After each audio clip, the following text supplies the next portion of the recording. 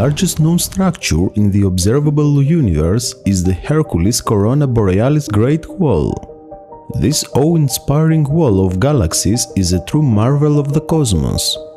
But what exactly is the Great Wall and how did it form?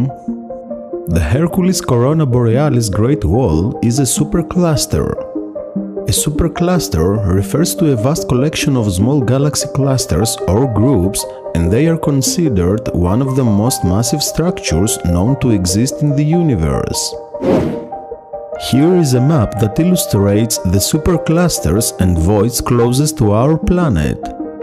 The Hercules Corona Borealis Great Wall is a vast galaxy filament or wall that measures about 10 billion light years across.